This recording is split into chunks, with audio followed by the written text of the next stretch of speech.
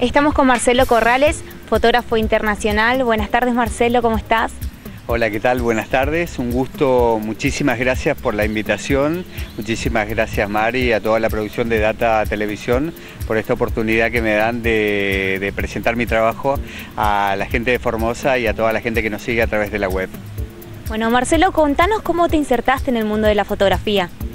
Bueno, el mundo de la fotografía viene desde prácticamente toda la vida. Yo he trabajado también, aparte de esto, muchos años en la radio de la Argentina y siempre tuve esa necesidad de querer comunicar algo. Hoy día lo hago con las fotos, otro, en otro momento lo hice con la radio y es una de las formas que tengo para poder comunicarme. Estuvimos mirando tu página y vimos que viajas mucho, eh, fotógrafo de los carnavales. Contanos un poco sobre eso.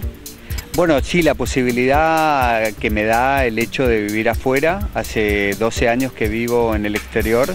Hoy día estoy en Suiza, donde resido no todo, no todo el año, pero tengo la posibilidad de que me contratan en diferentes países y gracias a eso puedo llevar mi arte y puedo conjugar dos de los grandes hobbies que tengo además de ser un trabajo, sigue siendo una pasión y un hobby el hecho de sacar fotos y también el hecho de viajar.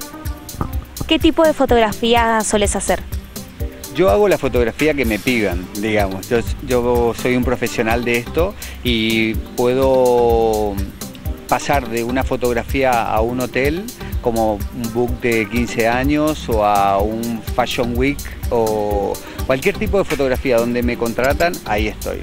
Lo que a mí más me gusta eh, o pienso que, es donde se puede destacar mi trabajo es en poder demostrar lo que es la pasión en las diferentes áreas donde yo puedo hacer fotografías.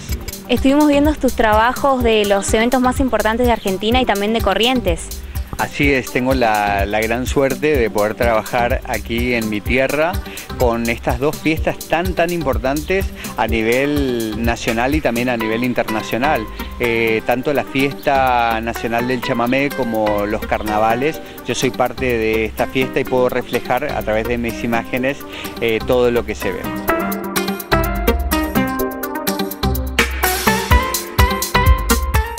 Bueno, Marcelo, muchísimas gracias por brindarnos tu tiempo para Data TV y vamos a estar coordinando para acompañarte en tus próximas producciones.